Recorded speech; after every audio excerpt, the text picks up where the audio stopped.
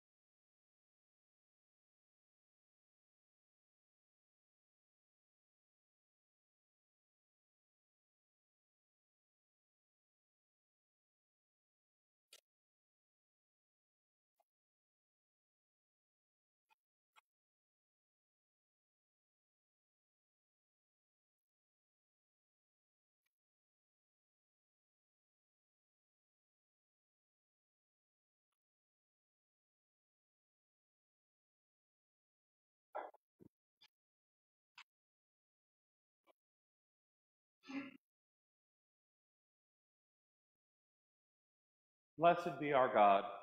forever and ever. Amen. Let us pray. Almighty God, we pray you graciously to behold this your family, for whom our Lord Jesus Christ was willing to be betrayed and given into the hands of sinners, and to suffer death upon the cross, who now lives and reigns with you and the Holy Spirit, one God, forever and ever. Amen.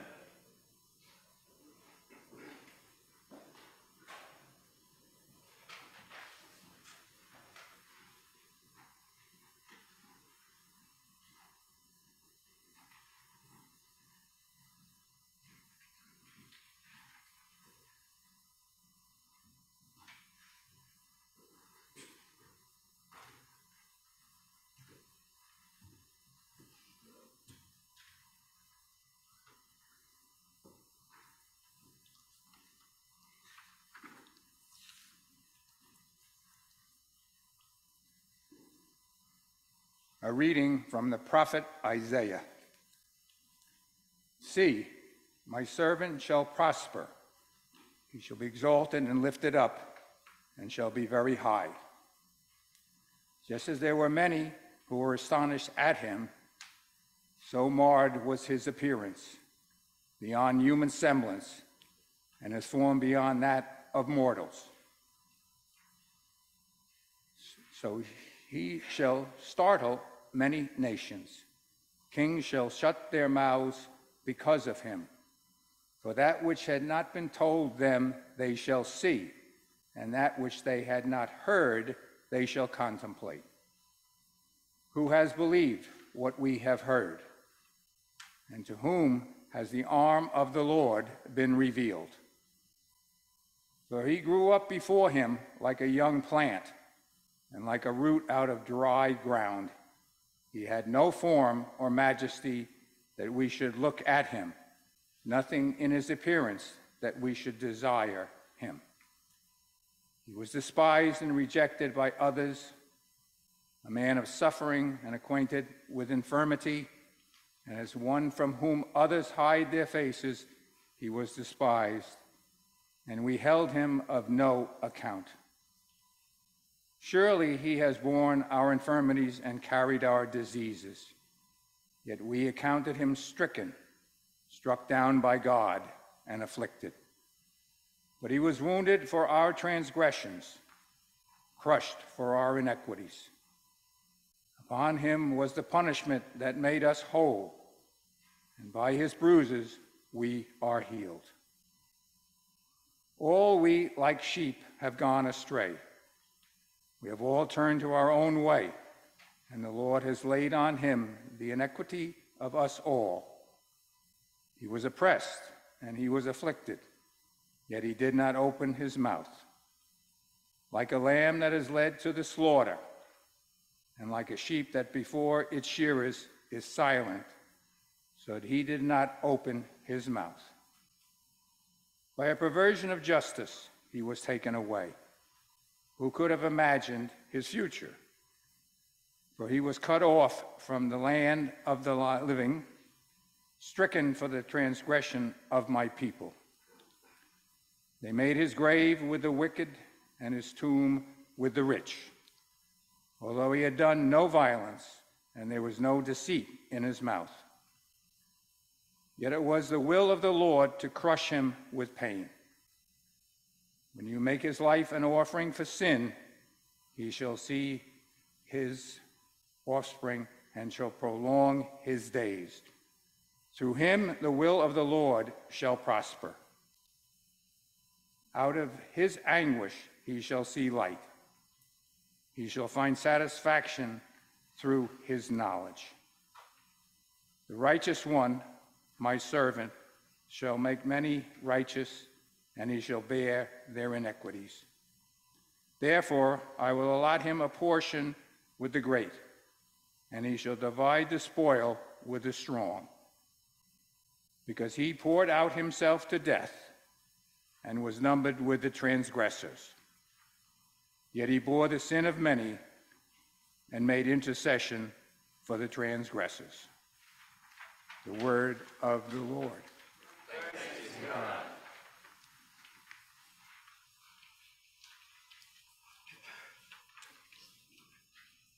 Our reading, Psalm 22, let us read responsively by alternate verse.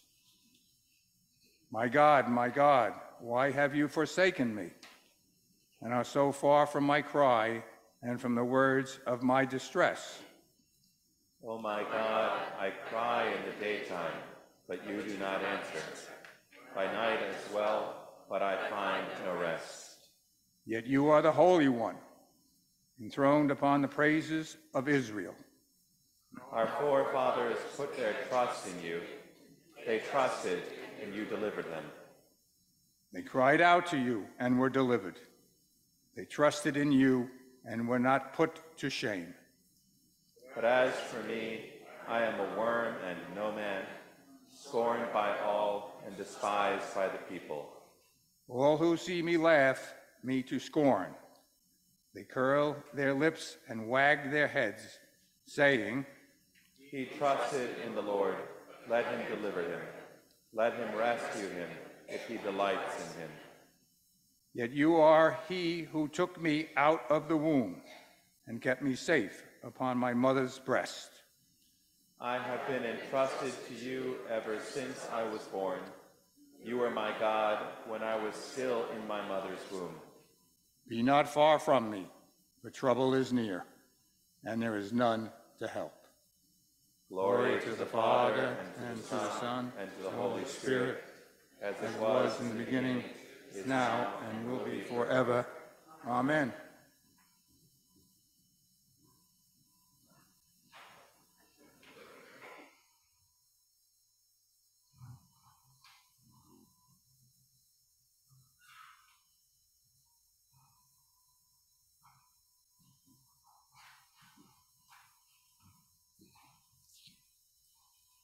Reading from the letter to the Hebrews. The Holy Spirit testifies, saying, This is the covenant that I will make with them after those days, says the Lord. I will put my laws in their hearts, and I will write them on their minds. He also adds, I will remember their sins and their lawless deeds no more. Where there is forgiveness of these, there is no longer any offering for sin. Therefore, my friends, since we have confidence to enter the sanctuary by the blood of Jesus, by the new and living way that he opened up for us through the curtain, that is, through his flesh. And since we have a great priest over the house of God, let us approach with a true heart in full assurance of faith, with our hearts sprinkled clean from an evil conscience and our bodies washed with pure water. Let us hold fast the confession of our hope without wavering. For he who has promised is faithful. And let us consider how to provoke one another to love the good deeds, not neglecting to meet together, as is the habit of some, but encouraging one another, and all the more as you see the day approaching. The word of the Lord.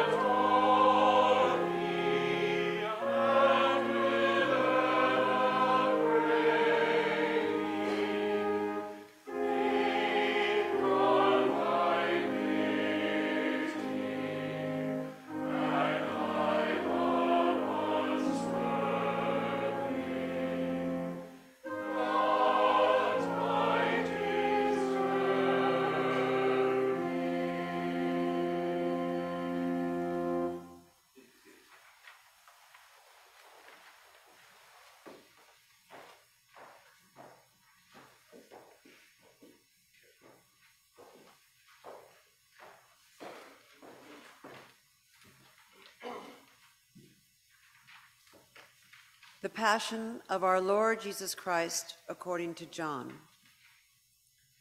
Jesus went out with his disciples across the Kidron Valley to a place where there was a garden, which he and his disciples entered. Now, Judas, who betrayed him, also knew the place because Jesus often met there with his disciples. So Judas brought a detachment of soldiers together with police from the chief priests and the Pharisees. And they came there with lanterns and torches, torches and weapons. Then Jesus, knowing all that was to happen to him, came forward and asked them. Whom are you looking for? They answered, Jesus of Nazareth. Jesus replied, I am he.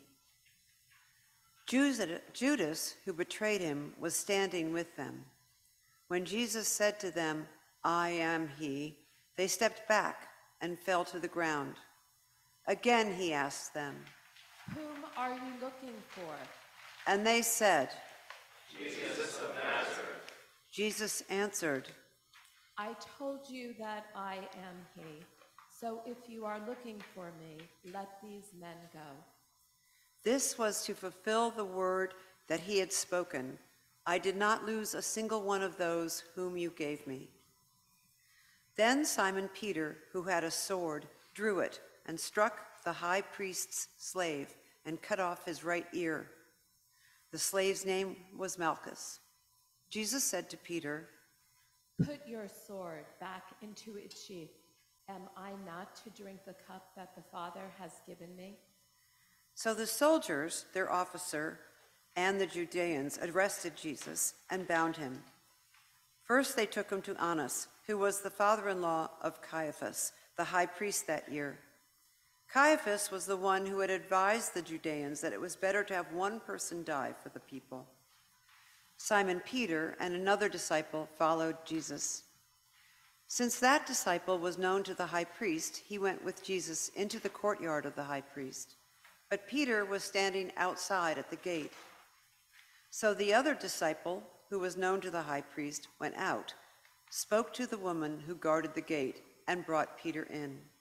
The woman said to Peter, You are not also one of this man's disciples, are you? He said, I am not. Now the slaves and the police had made a charcoal fire because it was cold, and they were standing around it and warming themselves. Peter also was standing with them and warming himself.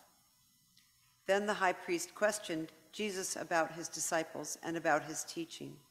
Jesus answered, I have spoken openly to the world.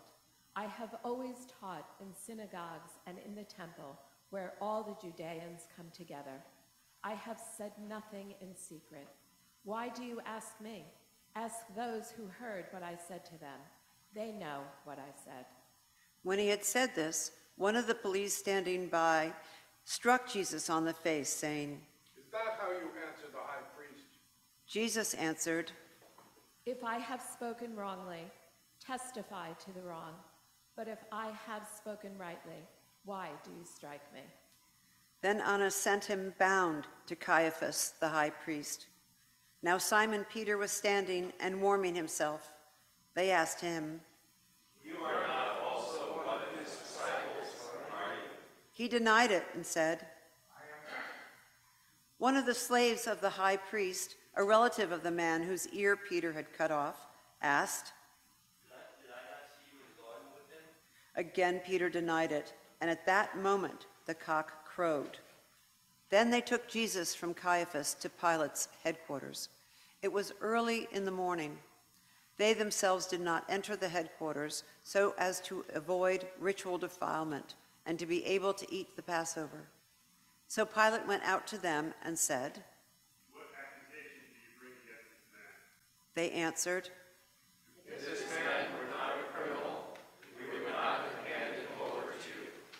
Pilate said to them, Take him yourselves and judge him according to your law.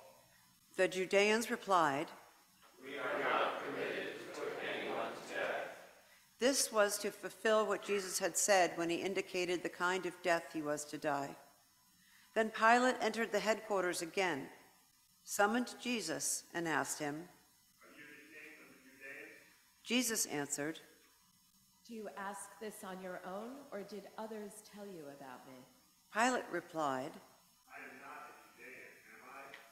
Your own agent and the chief priests have handed you over to me. What have you done? Jesus answered, My kingdom is not from this world. If my kingdom were from this world, my followers would be fighting to keep me from being handed over to the Judeans.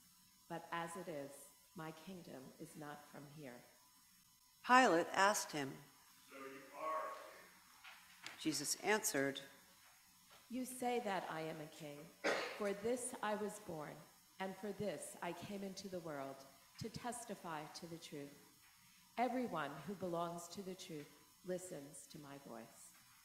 Pilate asked him, After he had said this, he went out to the people again and told them, I find no case against him, but you have a that I release someone for, for. Do you want me to release for you the king of the Judeans? They shouted in reply, Now Barabbas was a bandit. Then Pilate took Jesus and had him flogged. And the soldiers wove a crown of thorns and put it on his head, and they dressed him in a purple robe. They kept coming up to him, saying, Hail, King of the Judeans! and striking him on the face. Pilate went out again and said to them, Look, I am bringing him out you, let you know that I find no.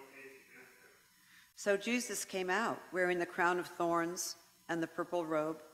Pilate said to them, the When the chief priests and the police saw them, saw him, they shouted, Crucify him! Crucify him! Pilate said to them.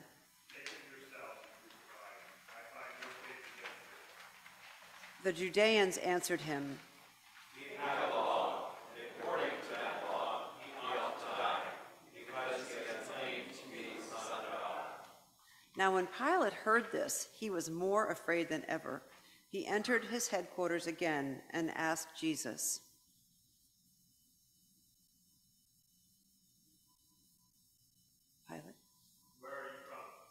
But Jesus gave him no answer. Pilate therefore said to him, you refuse to speak to me? Do you not know that I have the power to release you and the power to? Jesus answered him, You would have no power over me unless it had been given you from above. Therefore, the one who handed me over to you is guilty of a greater sin. From then on, Pilate tried to release him, but the Judeans cried out, If you release this man, you are no friend of the emperor. Everyone who claims to be a king sets himself against the emperor. When Pilate heard these words, he brought Jesus outside and sat on the judge's bench at a place called the Stone Pavement, or in Hebrew, Gabbatha. Now it was the day of preparation for the Passover, and it was about noon. He said to the Judeans, They cried out, Pilate asked them, Shall I crucify your king? The chief priests answered. We have no king but the emperor. Then he handed him over to them to be crucified.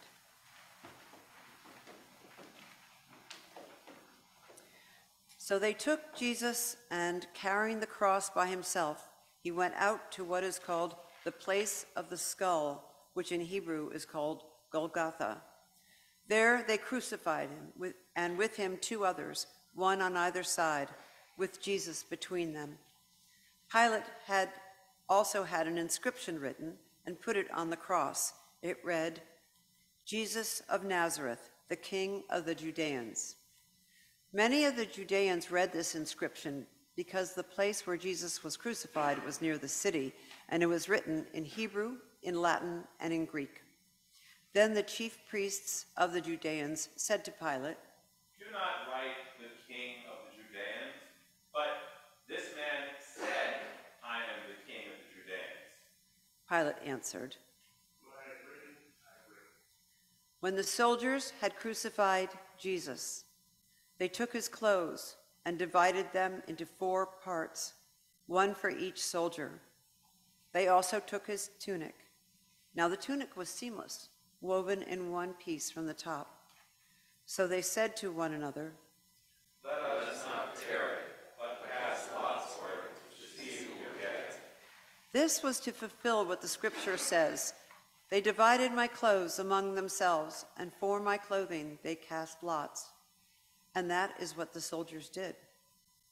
Meanwhile, standing near the cross of Jesus were his mother, his mother's sister, Mary, the wife of Clopas, and Mary Magdalene. When Jesus saw his mother and the disciple whom he loved standing beside her, he said to his mother, Woman, here is your son. Then he said to the disciple, Here is your mother. And from that hour, the disciple took her into his own home. After this, when Jesus knew that all was finished, he said, in order to fulfill the scripture, I am thirsty. A jar of sour, full of sour wine was standing there. So they put a sponge full of the wine on a branch of hyssop and held it to his mouth. When Jesus had received the wine, he said, It is finished. Then he bowed his head and gave up his spirit.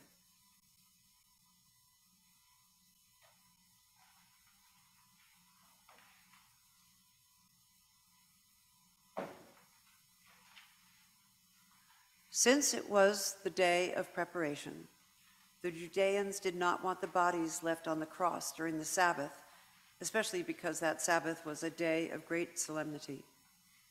So they asked Pilate to have the legs of the crucified men broken and the bodies removed. Then the soldiers came and broke the legs of the first and of the other who had been crucified with him. But when they came to Jesus and saw that he was already dead, they did not break his legs. Instead, one of the soldiers pierced his side with a spear, and at once blood and water came out. He who saw this has testified, so that you also may believe. His testimony is true, and he knows that he tells the truth. These things occurred so the scripture might be fulfilled none of his bones shall be broken. And again, another passage of the scripture says, They will look on the one whom they have pierced. After these things, Joseph of Arimathea, who was a disciple of Jesus, though a secret one because of his fear of the Judeans, asked Pilate to let him take away the body of Jesus. Pilate gave him permission, so he came and removed his body. Nicodemus, who had first come to Jesus by night, also came, bringing a mixture of myrrh and aloes, weighing about a hundred pounds. They took the body of Jesus and wrapped it with the spices in linen cloths, according to the custom of the Judeans. Now, there was a garden in the place where he was crucified, and in the garden there was a new tomb in which no one had ever been laid. And so, because it was the Judeans' day of preparation and the tomb was nearby, they, lead, they laid Jesus there. The word of the Lord.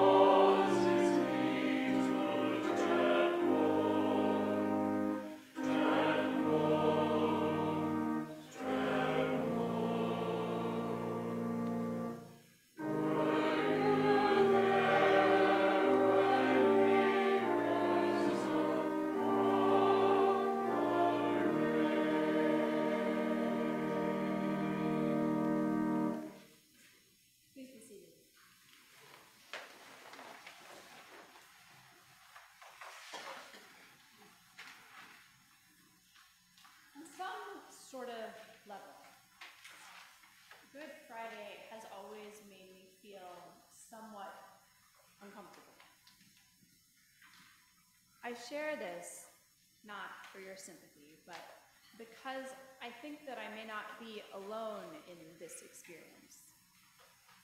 The relative attendance today, despite it being a day that many have off work and schools are closed, compared to what we will see on Sunday morning, I think is a testament to this. The culture that I grew up in doesn't like to spend too much time dwelling on bad news. We were often invited to chin up or move on after some sort of bad experience. And truthfully, I didn't have any major tragedies in my own life growing up. I had grandparents die, I had pets die, I had friends move away, and our family moved when I was 13. But largely, I was shielded from most of the really bad things that can happen to you as a child. Loss and death were something that I barely understood. And the few times I saw my parents going through something really hard, they seemed to exist at the extremes of experience. My father was always stoic and calm, as is often the expectation of fathers. And my mother kept calm as well, to the extent that she could. But then sometimes she would be overcome and get lost in her feelings, only to express tremendous guilt later for what she had shown. I wonder if these sorts of patterns are familiar to any of you. It seems consistent with our culture's expectations of us. Bad feelings or unpleasant feelings are kept below the surface to the extent possible until they force their way out. And then when they are expressed, it happens quickly, without ceremony, perhaps even wildly. And thus, sadness and grief begin to appear unpredictable or dangerous. And so, Good Friday's direct engagement with the pain of Jesus' final hours and ultimate death runs counter to our well rehearsed expectations. It doesn't adhere to our standards of stoic public behavior.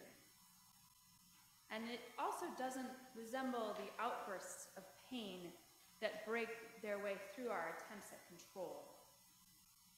No, what's happening today is something different. Today, we looked directly into the face of Jesus on the cross, and we stay here in this moment. It's rare in church that we spend more time with the death of Jesus than we do with the resurrection. But today we pause and we remember what happened. What happened the role of people bringing it about, and how something like that could possibly happen again today, or indeed how things like that do happen today. Good Friday packs it all together and invites us to dwell in the moment, to experience the full impact of sin in the world of sin in our own lives, and the deep love of God to join us on this earth, to fully experience the impact of our brokenness, and to die to save us. All over the world today, Christians are gathered to remember this moment in ways that have been used going back at least to the fourth century. Our earliest account of Good Friday is from a woman named Egeria, who traveled from somewhere in the Western Roman Empire to Jerusalem to experience Holy Week. She tells us how in the 380s, Good Friday was remembered by reading the same passage from John that we read today. We repeat the same story, remembering what happened. In some churches, even some Episcopal churches, Christians bring their bodies into play, venerating a wooden cross, just as pilgrims in the fourth century paid their respects to fragments of the cross on which they believed that Jesus had died.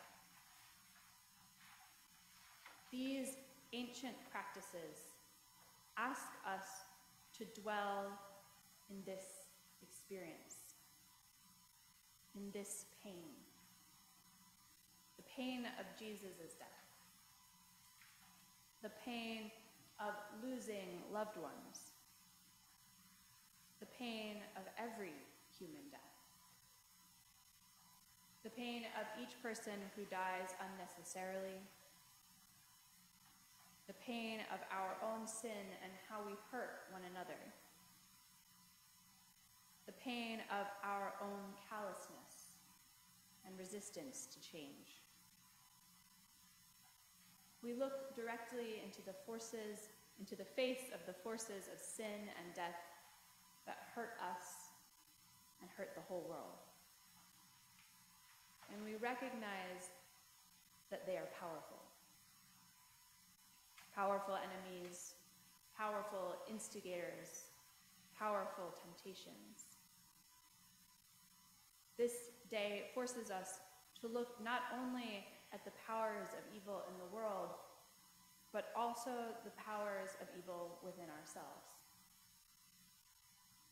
On Good Friday, we grieve not only the death of Christ, but also the parts of ourselves that seem to be dead or bring death to others. It's not an easy place to be. Today, we recognize the knowledge of evil that the first humans claimed in the garden at the beginning of time, and the tremendous gift that God sent in the form of Jesus to bear the consequences of that evil.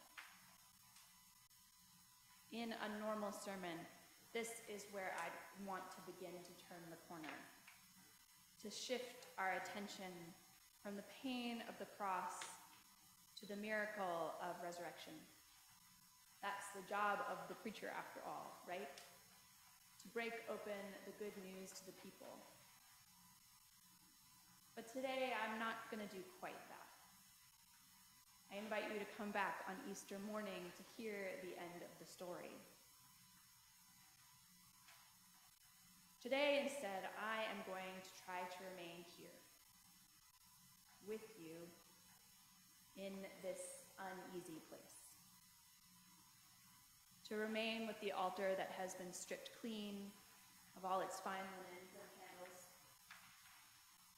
To remain dressed only in a plain black cassock rather than our normal vestments. To remain with the experience of our own pain and the knowledge of our impact on each other and the world.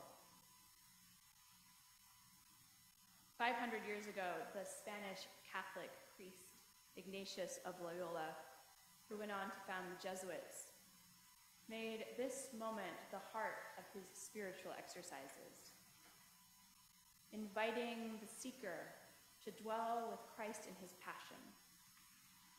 Here's what he said I ask for what I desire.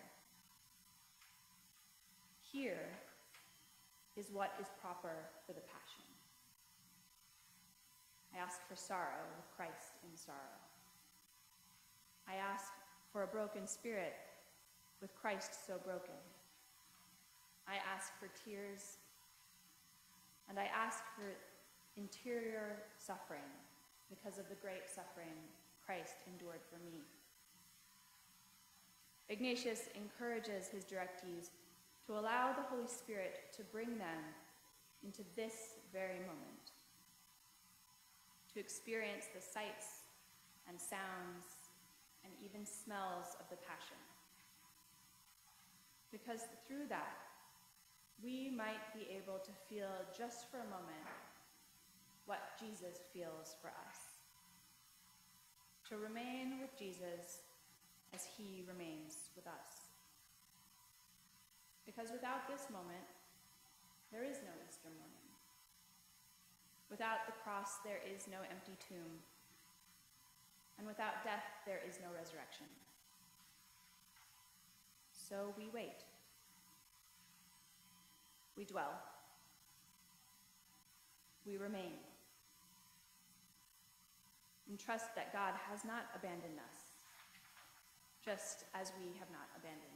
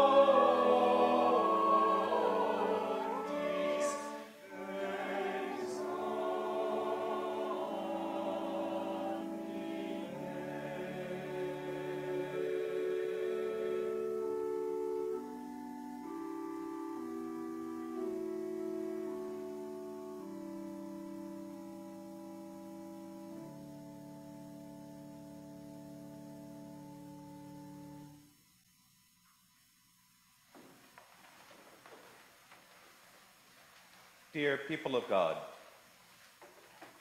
our Heavenly Father sent His Son into the world not to condemn the world, but that the world through Him might be saved. That all who believe in Him might be delivered from the power of sin and death and become heirs with Him of everlasting life. We pray, therefore, for people everywhere according to their needs. Let us pray for the Holy Catholic Church of Christ throughout the world, for its unity in witness and service, for all bishops and other ministers, and the people whom they serve, for Michael, our presiding bishop, for Lawrence, Bill, Daniel, and Geraldine, our bishops, for Gideon and Mary Beth, our priests, and Michaud, our Haitian partner priest, and all the people of this diocese, for all Christians in this community, that God will confirm his church in faith, increase it in love, and preserve it in peace.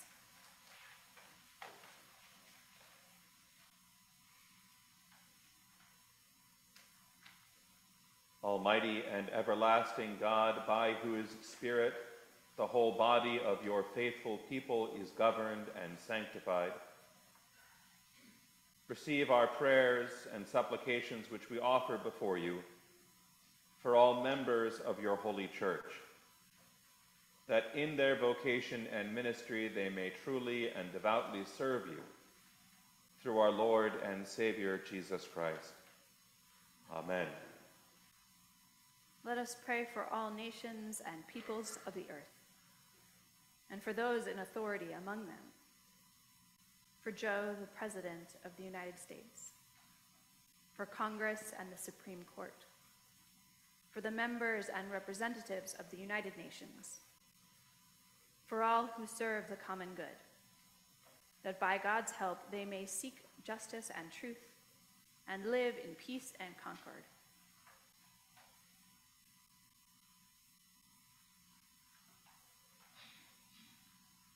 Almighty God, kindle, we pray, in every heart the true love of peace, and guide with your wisdom those who take counsel for the nations of the earth, that in tranquility your dominion may increase, until the earth is filled with the knowledge of your love. Through Jesus Christ our Lord. Amen. Amen. Let us pray for the Jewish people who possess an eternal covenant with the Lord, who delivered them from bondage to freedom, for continued faithfulness to God's covenant with them, for their faithful flourishing in peace as witnesses to God's sustaining love, for safety from all malice and harm, for the fullness of redemption for the sake of God's name that unity and concord may exist between Jews and Christians in obedience to God's will.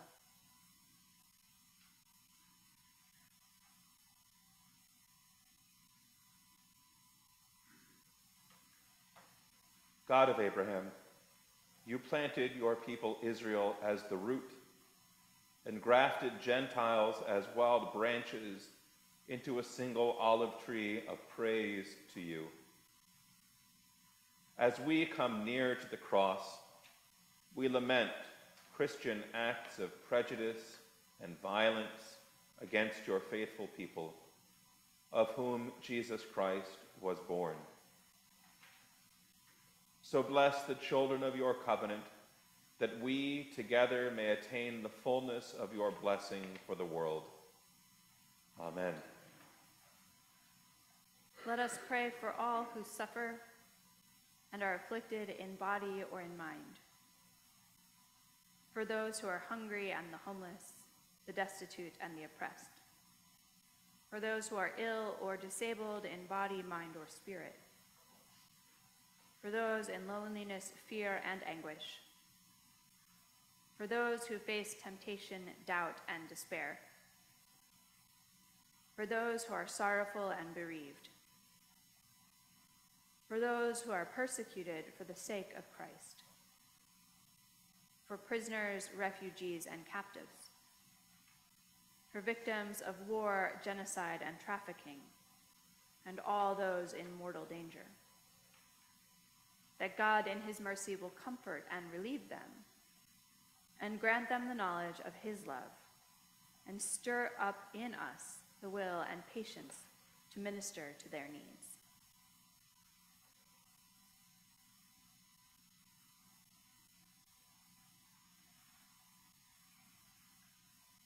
Gracious God, the comfort of all who sorrow, the strength of all who suffer. Let the cry of those in misery and need come to you, that they may find your mercy present with them in all their afflictions, and give us, we pray, the strength to serve them, for the sake of him who suffered for us, your Son, Jesus Christ, our Lord. Let us pray for those who have not embraced God's redemptive love, for those who have never heard the word of salvation, for those who have lost their faith, for those hardened by sin or indifference, for the contemptuous and the scornful, for those who are enemies of the cross of Christ and persecutors of his disciples, for those who in the name of Christ have persecuted others, that God will open their hearts to the truth and lead them to faith and obedience.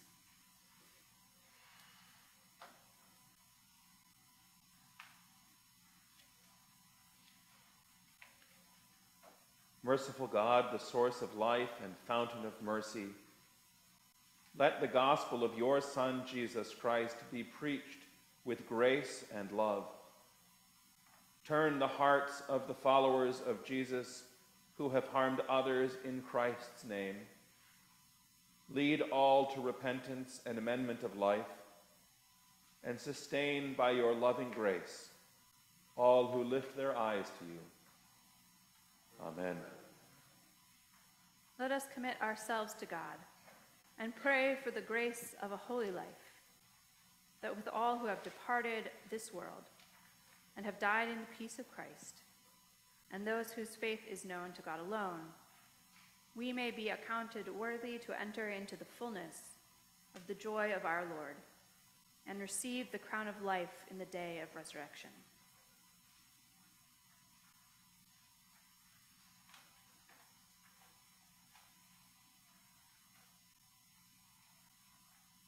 O God of unchangeable power and eternal light,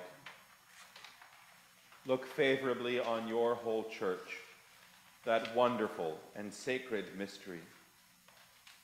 By the effectual working of your providence, carry out in tranquility the plan of salvation.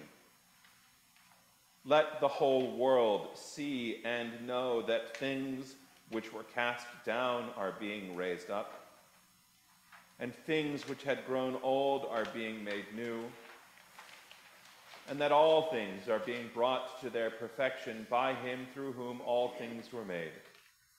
Your Son, Jesus Christ, our Lord, who lives and reigns with you in the unity of the Holy Spirit, one God, forever and ever. Amen. And now, as our Savior Christ has taught us, we are bold to pray, Our Father, who art in heaven, hallowed be thy name. Thy kingdom come, thy will be done, on earth as it is in heaven. Give us this day our daily bread, and forgive us our trespasses, as we forgive those who trespass against us. And lead us not into temptation, but deliver us from evil. For thine is the kingdom, and the power, and the glory, forever and ever. Amen.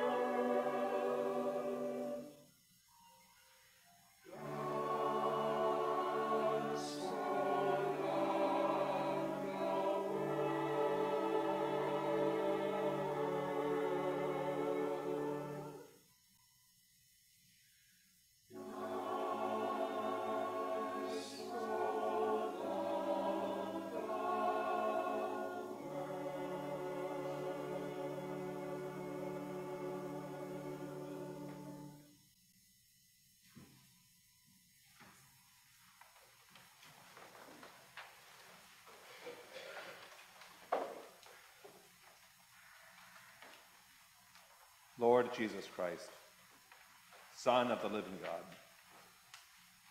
we pray you to set your passion, cross, and death between your judgment and our souls, now and in the hour of our death. Give mercy and grace to the living, pardon and rest to the dead. To your holy church, peace and concord, and to us sinners, everlasting life and glory. For with the Father and the Holy Spirit, you live and reign, one God, now and forever. Amen. Amen.